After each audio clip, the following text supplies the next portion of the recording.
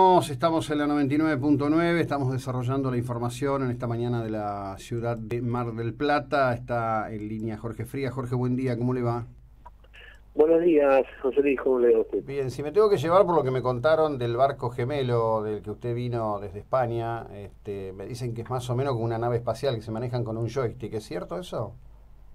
Sí, sí, tiene unas particularidades interesantes. No, no, son gemelos, son parecidos, construidos en el mismo astillero, pero no exactamente iguales.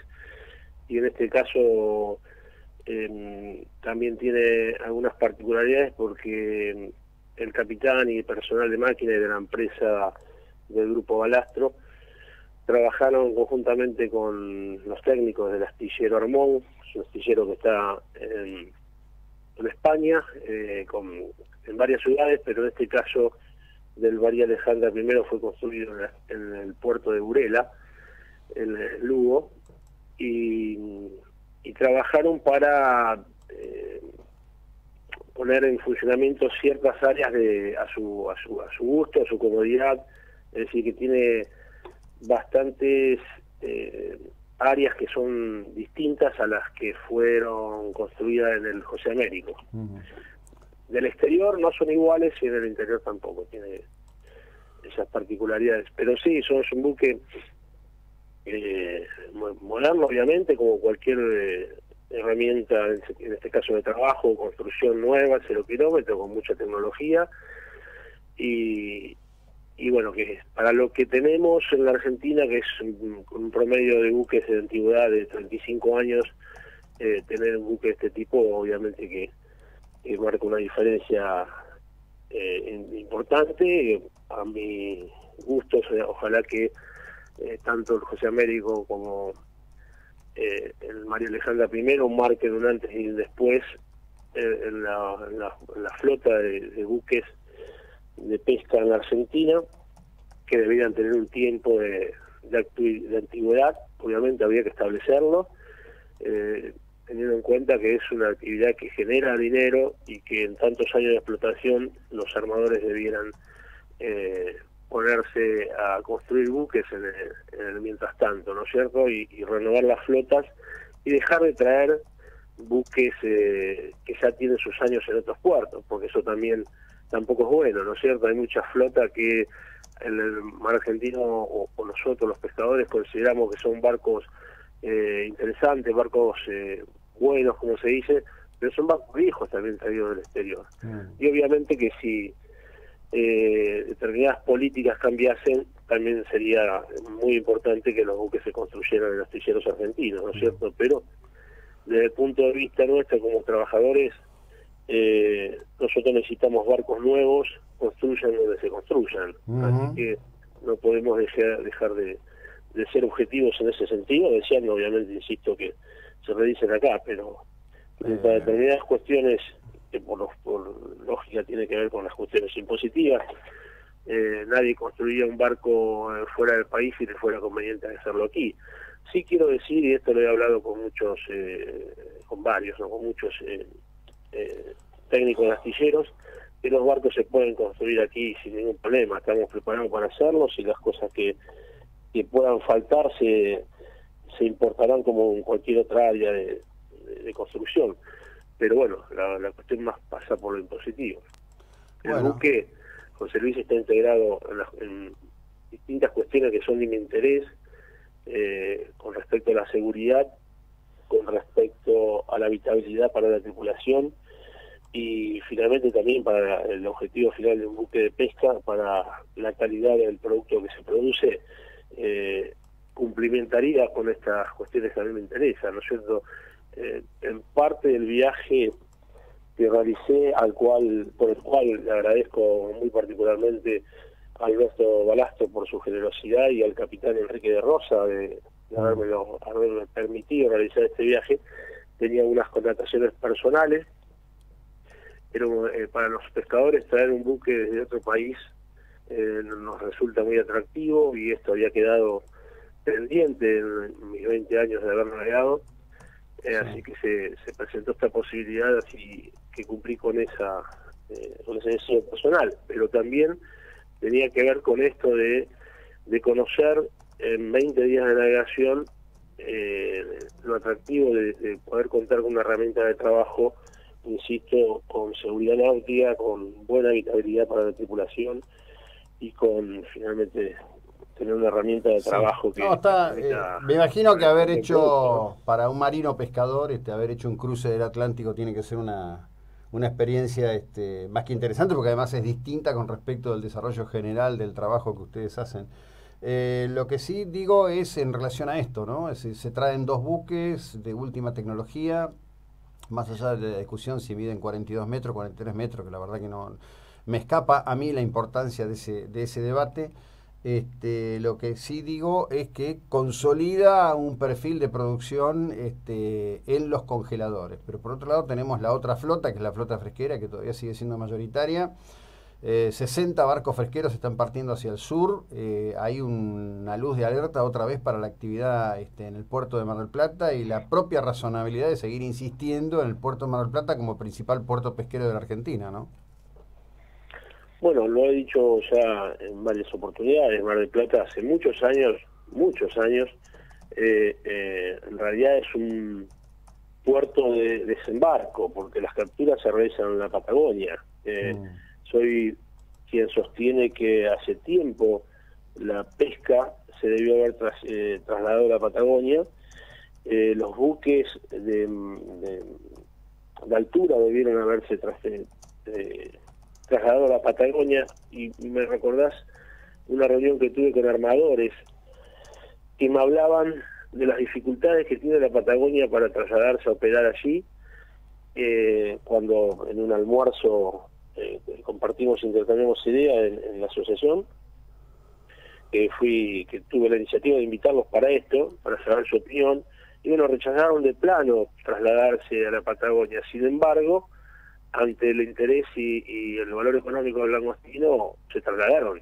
Ya varios años que lo vienen haciendo, quiere decir que es posible, siempre termina siendo una cuestión económica, por esto de, lo, de los costos, el, el navegar un buque eh, para que se me entienda, para ir a pescar a la Patagonia y venir a desembarcar en Mar del Plata, demanda eh, un promedio de 3 a 4 días de navegación sin, sin pescar, simplemente mm. pescando, eh, navegando, perdón, y esto es un costo que, que se para sobre el mayor de los costos que es el combustible.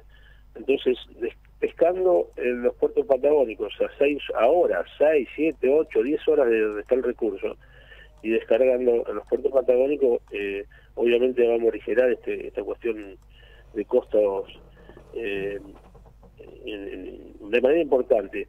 Lo que sí, obviamente, no es tan sencillo, esto hay que generar eh, una logística de trabajo nueva, distinta, por eso muchas veces he dicho, he dicho refundar la pesca, que tiene que ver con eh, mejorar los puertos en, la Patagonia, los gobernadores de los puertos patagónicos deben intervenir en función de costos, los gremios también debemos ser participativos de esta cuestión, se debe descargar parte de lo producido en la Patagonia y parte traerlo a, Mar del Plata. Yo hablaba de, una línea de cabotaje para, obviamente, pensando siempre en los costos, pero bueno, son ideas que quienes tienen la facultad y el poder para desarrollarlo eh, no suelen eh, ni siquiera de, ponerse a debatirlas, ¿no? Eh, eh, la cosa pasa por ahí. la, realidad es que, y te ir a buscar un producto como el langostino, obviamente ni aquí ni en la Patagonia va a ser un, generador de trabajo para los, la, la, para los trabajadores de tierra.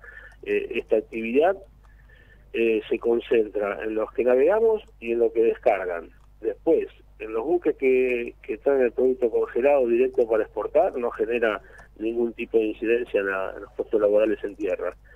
Y, y el, el producto fresco eh, tenemos la, la otra arista que el sector empresario hace unos años viene congelándolo en bloque y llevándolo a producir a otros países con un menor costo. O sea que ni siquiera eh, eh, estamos pudiendo solucionar esa cuestión de tener un producto de alto costo con, con un menor costo, porque ir a pescarlo con los buques de la Patagonia, ya dije que tiene menor costo para, para la operatividad, pero no obstante esto, se saca del país congelado en bloques para, para que ni siquiera se le permita a los trabajadores argentinos poder eh, devenar, que se llama eh, quitarle la cabeza al langostino y, pelarlo o no pelarlo, pero por lo menos parte, un semi-proceso sería, no sería un proceso total, pero no deja de ser un trabajo. Sí, bueno, ahí yo tengo entendido, a ver, lo voy a poner en estos términos, me dijeron que exportarlo en bloque como se exporta implicaría un valor de, no sé, creo que 3 dólares este, la pieza. Y hacer ese trabajo de sacar la cabeza y no sé qué más lo podría llevar a 8 o 9, para un precio que en el mercado internacional puede estar entre 18 y 30. Eh, me parece que tenemos un problema de mentalidad, ¿no? Amén de los problemas que podamos tener. Sí, es un, es un problema de mentalidad, y por eso digo, es de, de concientización. Digo, eh, José Luis, acá eh, nunca se pone eh, la lupa sobre que se trabaja sobre un producto natural, un recurso que no hay que sembrarlo porque lo siembra Dios, y nosotros realmente no lo, no lo aprovechamos en, esta extracción que, que hace el hombre, no lo aprovecha como debe ser desde los distintos gobiernos, y, no me paro en el presente, sino en todos, eh, realmente, mira, algo que me sorprendió de este viaje fue ver, una cosa es saberlo, verlo en películas o, por el ambiente en el cual yo me muevo, ver la cantidad de buques de transporte que hay en el mar. Desde España aquí me, me, cansé y me impresioné de ver la flota eh, de ultramar que transporta eh, la, generación, las producciones de distintos países, ¿no es cierto? Es impresionante. Y Argentina está rodeada de mar. Tenemos el Atlántico de un lado y el Pacífico de otro.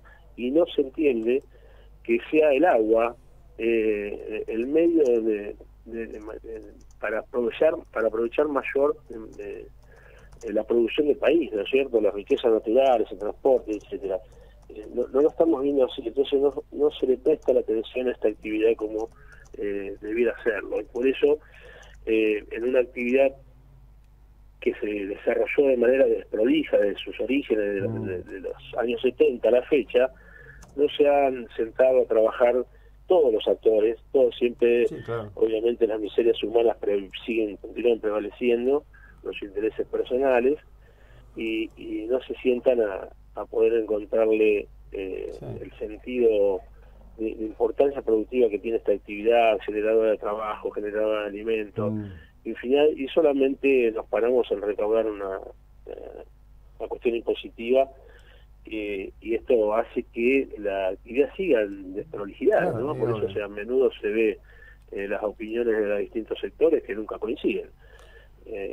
obviamente porque no, no no ven la actividad realmente como, se debiera ver, ¿no es cierto? Hay eh, también, por ejemplo, fíjate vos, estamos hablando de dos unidades productivas, en este caso de Nueva, que pasa lo mismo con los buques que se construyen en Argentina. Son herramientas de trabajo productivas que suelen estar meses paradas porque la burocracia con la que se gestionan los permisos y las matrículas este, hace que una herramienta de trabajo que que estar produciendo tenga que estar eh, a la espera de que se le generen la, la, matrícula y los permisos eh, para poder operar. Todas estas cuestiones que deben solucionarse. Nosotros salimos de España con, con, el buque, con una simpleza, con una sencillez, donde se marca que cada uno tiene sus responsabilidades y sabe con qué cumplir. ¿Qué quiero decir con esto? tuve, tuve la posibilidad de ver cómo una vez el buque en condiciones, eh, de acuerdo obviamente a los constructores, para navegar, se generaron los, los eh, trámites eh, administrativos con una ligereza para que simplemente se suelten los cabos y el barco salga a navegar y venga a la Argentina. Y después, por motivos diversos que tienen que ver con aduanas y demás, el barco viene y tiene que estar acá parado 30 días o insisto, también le pasa lo mismo a los buques construidos aquí para poder ir a, operar. Estas cosas hay que solucionarlas. Eh, son problemas de, que, no se los está viendo como lo que digo, ¿no? Es una herramienta de trabajo, en este caso va a ser para 36 personas. y, bueno, a, ver, imagino yo que imagino yo que lo que pasa con el barco es que habrá que hacer el proceso de desaduanaje, ¿no? Eh, sí, bueno, es un, es un quebradero de cabeza. lo que estoy diciendo es que se lo agilice. No, no, no, bueno, no, no, pero está bien, digo, en líneas generales es un quebradero de cabeza la Argentina. Es un, es un tema burocráticamente excesivamente complicado, complicado sin, sin sentido, ¿no? Entiendo el tema y además me, parece que son las cosas que hay que corregir. Lo, lo más breve que pueda, Jorge. Eh, Roberto me pregunta, dice, los astilleros locales no se pueden hacer esta clase de buques, es más caro acá. Estimo que por las cuestiones impositivas y demás debe ser bastante más caro hacerlo acá en Argentina. Sí, es lo que dije, quizá no me escuchó lo que sí, aparte yo avalo que, que, los buques se construyen acá, por supuesto. Eh, eh, he hablado con varios eh, constructores y sin duda la duda lo pueden hacer. De hecho, el astillero me pertenece Contesi, un buque en el cual yo navegué, eh, eh, que es el más grande eh, que construyeron ellos, eh, tiene 39 metros, o sea que lo puede hacer, estos barcos están en, alrededor de ese metraje, 43, 44, eh, o sea, quiere decir que se puede construir, el Centauro 2000, que es un barco de, que ya tiene más de, alrededor de 20 años, eh, si mal no recuerdo, y se pudo construir hace 20 años, quiere decir que el astillero tiene que haber evolucionado absolutamente y poder construir este barco. No, yo no, no la verdad no tengo duda, no encontré eh, un buque que no se pusiera pudiera construir en Argentina. Lo que tiene a bordo y cómo está construido, yo entiendo claramente que aquí se puede hacer. Y la cuestión es esa, es una cuestión de costos. ¿Cuánto sale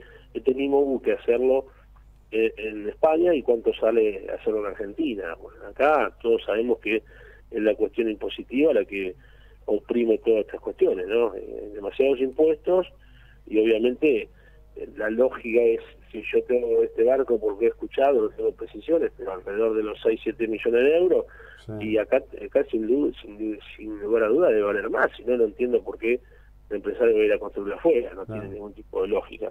Lo que yo vi a bordo, que lo recorrí en 20 días de navegación, este eh, claramente entiendo que se puede hacer. Tiene mucha tecnología, José Luis vale resaltarla, que esto es interesante, pero se puede instalar también en estos astilleros, sin duda, sin duda. el equipamiento, la comunicación, la seguridad, eh, la verdad, el tema de las balsas, de traer cuatro balsas para el, doble de la tripulación, esas cosas que equipos tecnológicos que si no los tenemos se traerán, como se trae el celular, también se trae un equipo de navegación, este, sondas de multiace, o sea, tiene alarmas diversas, centrales de alarma que tienen controlado el barco en el puente absolutamente, hélices laterales, para que me entienda la, el oyente, de navegación, aunque hay mucha seguridad y esto no es algo que no se puede hacer acá, no, sin lugar a dudas se puede. Hablando de balsas, permíteme decir algo interesante, eh, nosotros estamos trabajando fuertemente con con la Prefectura Nacional, directamente con el, prefecto general Eduardo Carcelo y con quien él ha designado eh, a los prefectos Ruiz y Alvarenga de, de, de de la Policía de Seguridad Náutica con respecto a, atender la seguridad de la navegación. Y en ese sentido eh, he tenido la grata eh, comunicación en el día de ayer de que un pedido que tiene mucha importancia para mí, que lo había hecho hace varios años y no, no pude avanzar, en este caso sí, es que la Asociación de Capitanes, a través de quien designe, siendo esto incluye de mi propia persona o del general que se encuentra en el momento que se, que, se ponga en práctica o cualquier otro delegado, eh, vamos a poder estar presentes en el recorrido de las balsas. Estamos haciendo un acuerdo marco donde cada vez que por vencimiento para que se entienda eh, lo que digo, las balsas tienen un tiempo en el cual deben abrirse aunque no se usen y verificarse todos los, contenidos que estén en condiciones. Eh, cuando esto ocurra, las empresas o el agente marítimo va a tener que informarnos y eh, nosotros designaremos un, un representante para que esté presente en el momento que se realice, constatando que todo lo que se, sea necesario hacer para reparar esa balsa se haga, y esto es porque ha habido muchos casos, y en particular el mío propio, donde cuando necesité la balsa salvavidas, por más que ésta estuviera con todos los sellos y todas las certificaciones, de, tanto de la del operador de balsas como de la autoridad eh, la propia prefectura, no estuvo en condición la balsa, la balsa no, se pudo utilizar, eh, entonces eh, nosotros reclamamos, si bien es un derecho del capitán y de toda la tripulación estar presente, mm. hay circunstancias donde no permite que esto ocurra, porque el buque puede estar en reparación y ni siquiera todavía tener la tripulación a bordo, la tripulación contratada, y eh, obviamente la empresa avanza en, el acondicionamiento del buque, manda a acondicionar la balsa, y bueno, lamentablemente las instituciones son las instituciones, pero los hombres son hombres. Entonces, eh, se cometen este tipo de, delitos.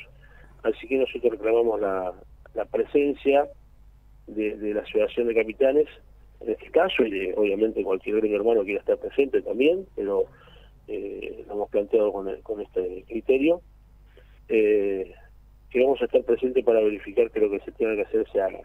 También, eh, quiero resaltarlo, estamos eh, haciendo un acuerdo marco que nos va a permitir conjuntamente con la prefectura, en la próxima semana me reuniré con el prefecto Rodríguez de Mar del Plata para ayornar estas cuestiones y otras que tienen que ver con la capacitación de, capitanes y oficiales para todas las cuestiones administrativas que demandan estar al mando de un buque. Normas que se vienen generando y bueno, que a veces son tantas que a los compañeros les trae dificultades llevarla adelante y a lo largo del año en el auditorio de la, de la, asociación se van a ir desarrollando estos cursos Bárbaro. de Jorge, gracias, buena jornada, hasta luego, muy amable. Gracias, gracias por permitirme extenderme, pero era importante decir. Bueno, fantástico, hasta luego, gracias. Jorge Frías. De